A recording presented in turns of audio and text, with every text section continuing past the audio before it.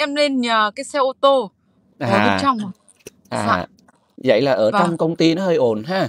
Ừm, ừm. dạ vâng ạ. Ừm, thôi được rồi, cũng mong cô chú anh chị thông cảm bởi vì là hổm giờ cái hẹn hoài nhưng mà cái công việc của em thì, ờ, cũng bận nhiều, đúng hông? Ừm. Dạ. À, rồi Vâng. b bây giờ mình vào cái câu chuyện luôn em nha. Dạ vâng ạ. Ừm, trước tiên là em cho anh biết tên của em ạ. À, tên của em là Vũ Thị Yến ạ. À, à, em Yến là sinh năm mấy? Em sinh năm 1972 ạ. Ồ, xin lỗi chị. Dạ, dạ vâng. Dạ, trẻ quá. Dạ vâng. dạ, Tuấn Vĩ sinh năm 77. Dạ. À, dạ vâng. Dạ. Thế Tuấn Vĩ bằng tuổi em trai của của Dạ, của của chị. Ừm. Dạ. Rồi chị Yến hiện tại là ở tỉnh thành nào? À, mình ở thành phố Hải Dương. À, ở À, Hải phường Dương. Ừm. phường Tứ Minh, thành phố Hải Dương. Ủa, rồi ở ngoài đó lạnh rồi hay sao mà thấy chị mặc cái áo lạnh vậy? Ừm, dạ, ở ngoài công ty của em, ơ, nắng nóng lắm. Thế đâm ra là em lên ô tô thì là em mượn cái này em lên em ngồi. Là Vâng. thôi được rồi, t dạ rồi, ô kê chị. Rồi hôm nay Dạ. là là chị Yến kết nối là để kiếm ai chị? Dạ, em kiếm người thân mà người để sinh ra chồng em. À, tức là là gia đình bên chồng. Ừm. À, gia đình bên chồng mà người mẹ sinh ra chồng em. Rồi, và chị, ờ, chị có biết được tên của người mẹ và năm sinh của người mẹ không? Dạ, cái này thì em không biết được. Ừm. Vì rằng là, ừm, thật sự câu chuyện là giữa mẹ chồng em và cái bà hội lý mà em đã, ưm, kể với Ừm. anh ở trên nhắn tin rồi, Ừm. là hai người có cái sự giao kèo ấy anh ạ. Rồi. Thế nên là, ừm, không cho chồng em biết, mà Rồi. em chỉ biết là cái lúc mà, ừm, em có một lần ra Hải Phòng mà tìm bà hội lý đấy, Rồi, em thì xin chính lỗi bà nha. Rồi em xin dạ. lỗi. À, bây giờ chúng ta tuần tự từ đầu cái câu chuyện để cô chú dễ hình dung đó. Ừm, thì Dạ. cho cho cho Tuấn Vĩ hỏi cơ bản cái là chồng của chị là sinh năm nào?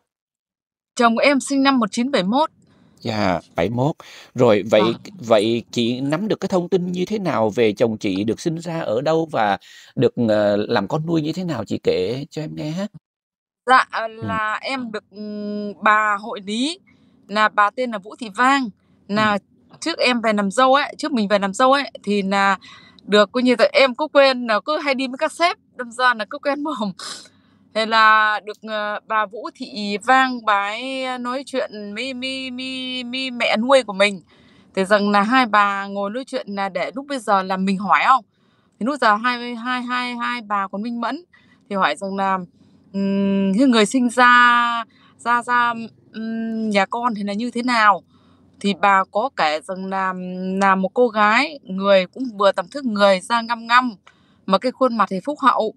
Mà đẻ xong thì được hai ngày, thì đến ngày thứ ba là cho chồng em đi ấy, thì chính bà đấy thì lại có bà em gái ruột lại là em dâu của bố chồng em. Ấy, thì mới mới biết bố mẹ biết bố mẹ mình là không sinh được không, thì bắt đầu là mới, um, gọi nhờ nhờ cuộc điện thoại của bên, bên bên bên bệnh viện. Thế xong bắt đầu là lúc bây giờ thì điện thoại không có, nhưng mà phải xuống tận đâu ấy để nghe ấy. Thế xong bắt đầu mới bố mẹ chồng mình mới lại đi ô tô ra ngoài Hải Phòng, bệnh viện Việt Tiệp ấy, là để xin lúc bây giờ mới được có ngày có 3 ngày tuổi chưa rụng rốn ạ. Thì lúc bây giờ là mẹ nuôi bảo rằng là vào ngày tháng 3 âm. Rồi. Dạ vâng. Rồi, rồi mọi việc nó diễn ra như thế nào nữa? Dạ, thì thì em à, thì mình chỉ thấy bảo rằng nà, à, lúc bây giờ thì cũng thấy thấy mẹ nuôi bảo là nhìn thấy mẹ, à, ờ, của thằng Tuyến là có nghĩa là tên chồng mình bây giờ là do bố mẹ nuôi đặt tên. Dạ. Thì nà bảo mẹ ờ, thấy mẹ của thằng Tuyến tội nghiệp lắm, thì cũng cho mấy cân gạo với mấy đồng. Thế nhưng Dạ. mà chỉ lấy mấy cân gạo thôi chứ tiền không lấy. Dạ. Ấy, thì chỉ nói thế như thôi, nhưng mà cái lúc mà mình cũng lẻn ra Hải Phòng vì nà, à, bà hội lý này nhà gần cạnh bệnh viện Việt Tiệp. Thì nà hình như ở quận Lê Chân, cái trận đấy lúc bây giờ mình ra nà hình như là cái gì phố Cát Dài ấy, hay đường Lê Cát gì Dài ấy, có nghĩa là mình không không thuộc lắm. Dạ. Thì ra cách đây cũng phải, ờ, ch hơn chục năm rồi. Thì lúc bây giờ bà còn minh mẫn để hỏi, nhưng mà bà chỉ ôm hai vợ chồng vào bà khóc, bà bảo là cái này là do giữa, giữa giữa giữa giữa bà và với mẹ nuôi của các con, bố mẹ nuôi là giao kèo rồi không thể nói tên và không Ồ. nói quê quán được. Thế như thế ừm, lúc bà chết thì nà lúc, vợ chồng mình ra ấy, thì bà có 3 người con. Bà Vang đi lấy chồng là đời chồng cả thì được một anh cũng ở với bà là anh Giản và anh Huấn Ừm. và chị Khang. Chị Khang ngày xưa là làm ca sĩ ở bên đoàn kịch Dìa Hải Phòng ấy. Thì bọn mình ra thì chị cứ ôm vào lòng chị khóc. Thế xong bắt đầu chị em của bà, ruột của bà đấy, cứ ôm vào lòng khóc là, à, bà cũng chỉ lúc cuối đời bà chỉ nhắc lại mỗi câu rằng là bà không được phép nói. Có Ừm. nghĩa là do mẹ nuôi coi như là không cho biết nên là bà không được phép nói, thì đấy là chỉ dặn lại. Là Ừm. câu trăn trối cuối cùng là chỉ dặn lại là là nói với người thân là bảo với vợ chồng nhà mình như thế. Thì từ Yeah. năm bây giờ thì cũng không biết là đâu đi tìm, thì vừa Yeah. rồi, à, ngồi nghỉ ở nhà mới nghe chương trình của Tuấn Vĩ thì bắt đầu mới lên để đăng ký chứ. Thì thôi Yeah. thật ra là, ừm, trong cái cái, đây là mình, ừm, tự đi tìm. Thế còn nếu mà để cho mẹ nuôi thì mẹ nuôi không thể cho biết được. Yeah. Hơn nữa là trong thâm tâm của người chồng thì lúc nào người ta cũng nghĩ về cội nguồn người ta không? Thế Yeah. nhưng mà cũng không biết cách nào để mà tìm được. Thì Rồi. nên là bằng cách là mình cứ tìm đến Tuấn Vĩ và tự mình tìm thôi.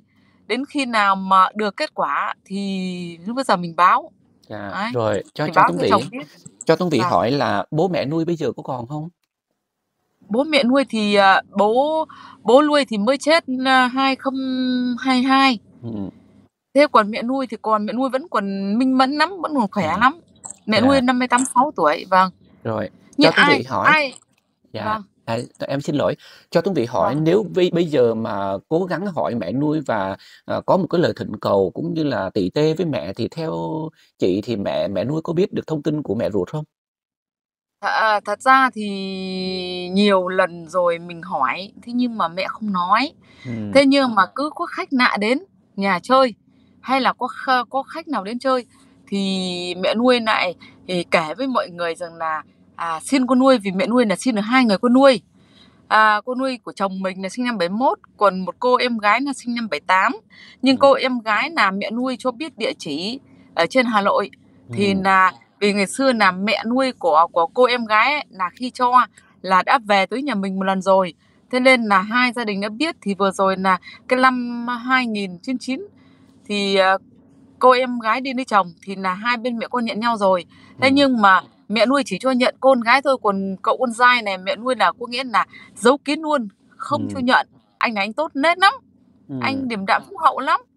Thế mà anh mà, vợ chồng mình thì chăm cho bố mẹ, nghĩa là thật ra là con đẻ không bằng đâu.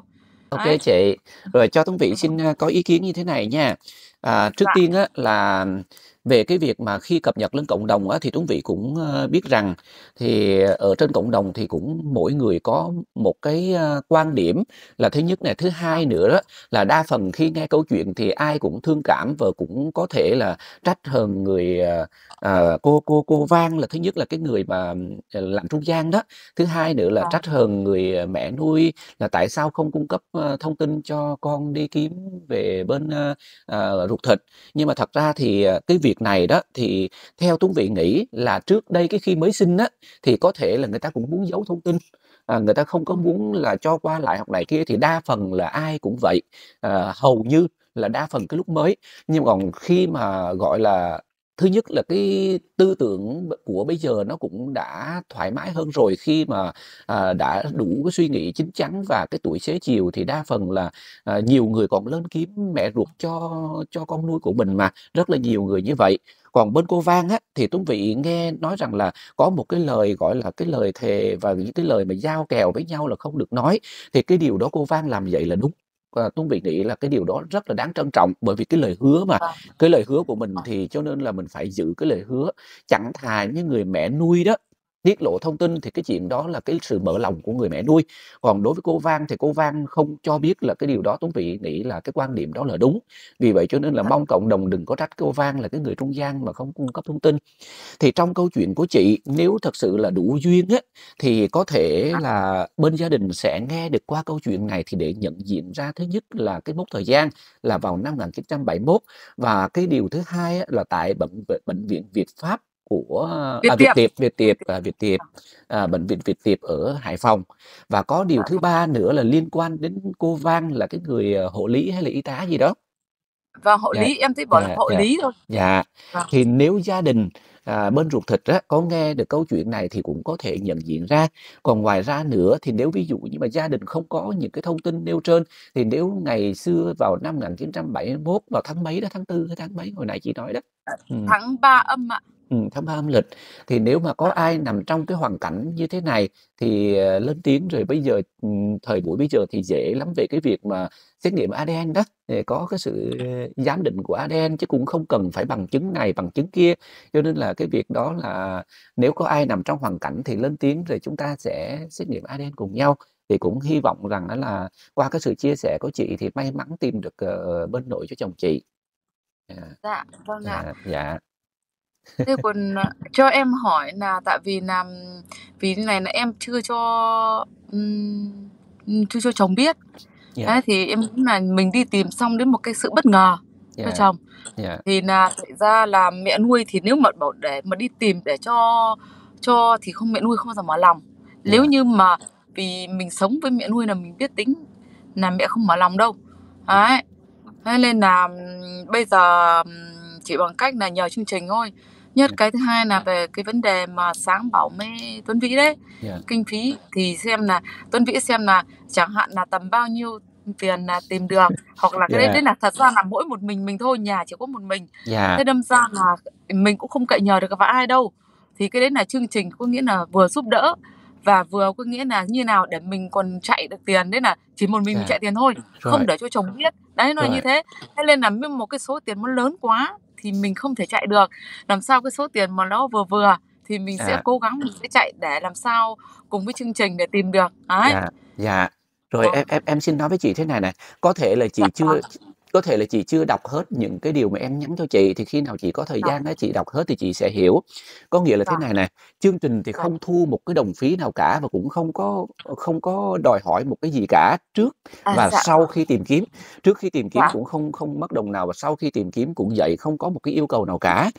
Nhưng Dạ vâng. cái việc mà hậu tạ cho người báo tin là vì lý do là không phải Tuấn Vĩ chạy đi kiếm mà là Tuấn À. cập nhật lên cộng đồng.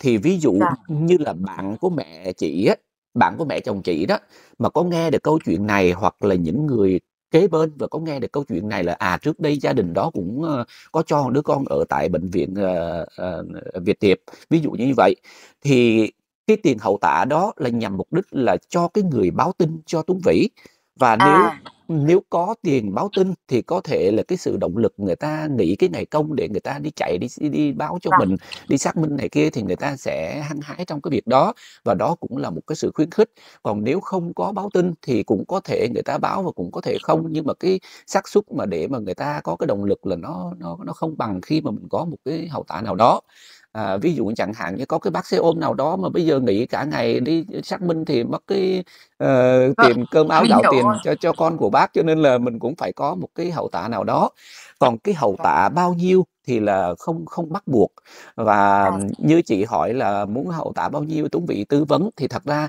chị biết có những trường hợp ví dụ như cái ngày hôm nay Tuấn Vĩ mới đăng cách đây vài tiếng đồng hồ này thì có anh đó anh anh là anh Thái thì ảnh kiếm mẹ ảnh thì ảnh hứa là hậu tạ là 300 triệu chẳng hạn là như vậy hoặc là ví dụ như chị Hằng hoặc là ca sĩ Randy này kia cả chục ngàn đô này kia thì cái điều đó là cái điều c- tùy theo điều kiện và tùy theo cái sự tha thiết của của những người đó là những người có điều Dạ. kiện còn những người không có điều kiện thường thì Tuấn Vĩ thấy người ta hậu tạ là 10 triệu đồng hoặc là 20 triệu hoặc này kia gì đó thì nó để nó dẫn đến thành công thôi chứ cũng không À, có vâng. bắt buộc ừ. Vâng, vâng. Vì vậy trong trường hợp của chị thì chị nên nói lên khoảng 10 triệu hay 20 triệu gì đó tùy chị thì À, dạ. cái số tiền bao nhiêu chương trình không bắt buộc nhưng với điều kiện là bao nhiêu thì cũng phải nói rõ 5 triệu cũng nói 10 triệu cũng nói và 20 triệu thì mình cũng nói Thế rõ thì ừ. thôi cái này cái chương trình mà đâu có phải một mình một người gì được Ừ, đâu. ừ, Hàng à, cả một cái cộng đồng.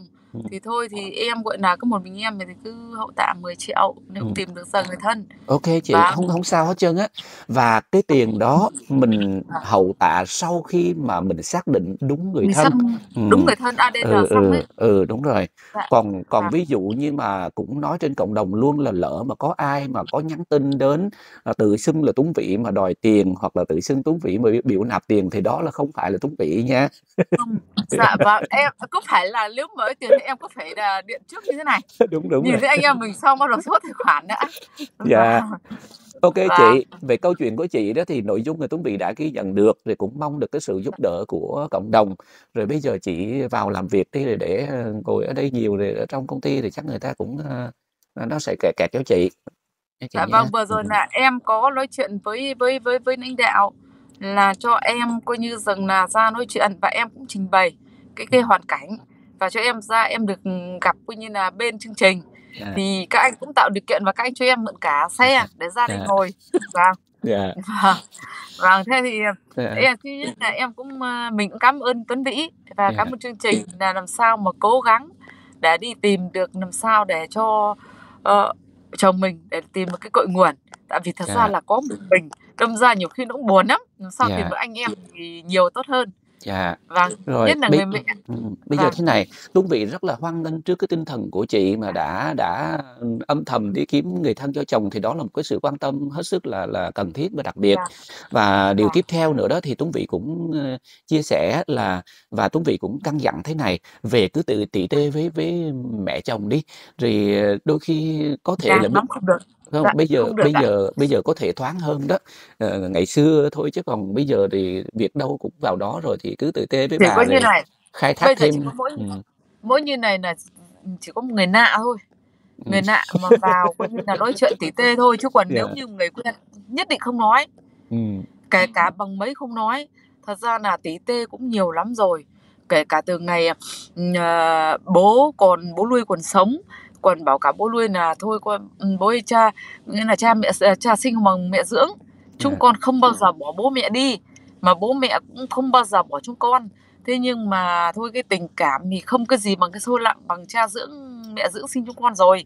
Dạ. Vì là, ừm, người mà sinh ra mà không nuôi được thì cũng không bằng người dưỡng được."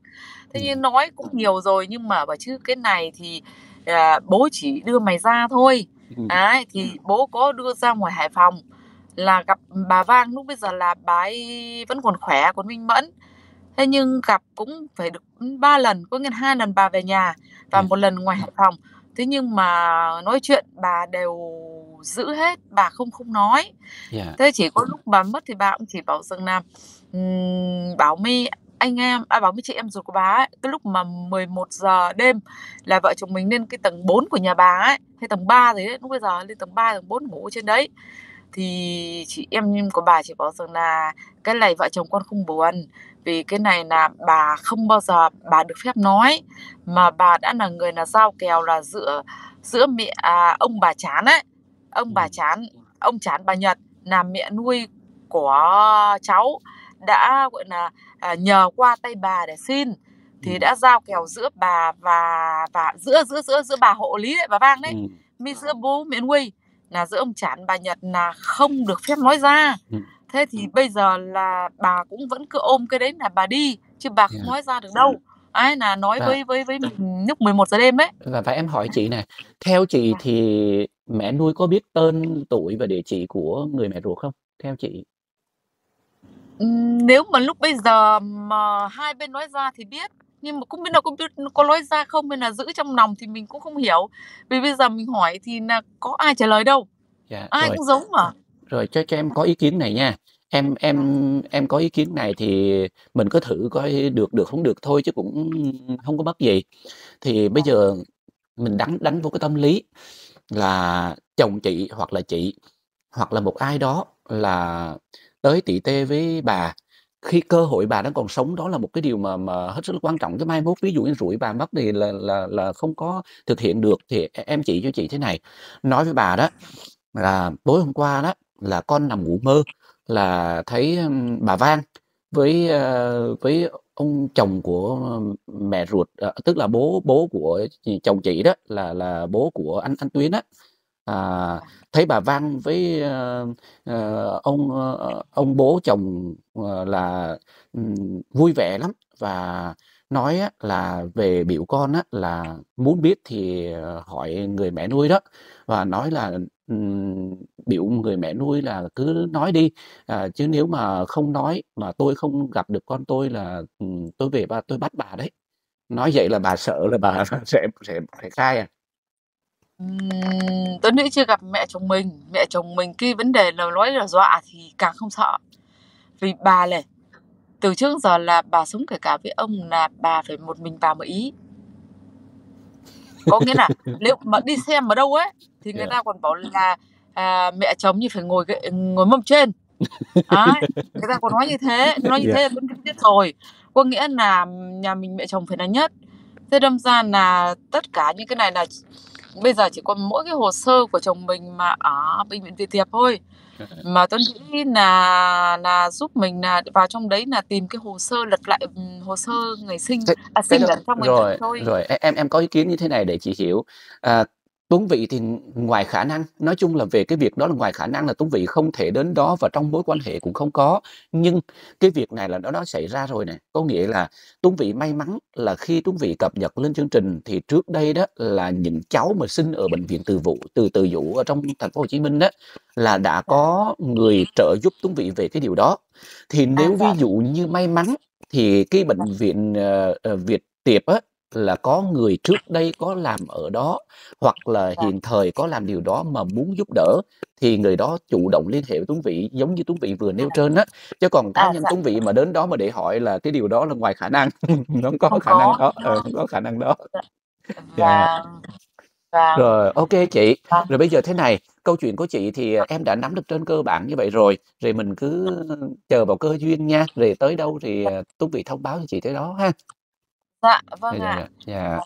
Thế Rồi. có gì thì, à, làm sao mà mỗi ngày là một cái ngày mà muốn có một cái tin gần nhất. Dạ.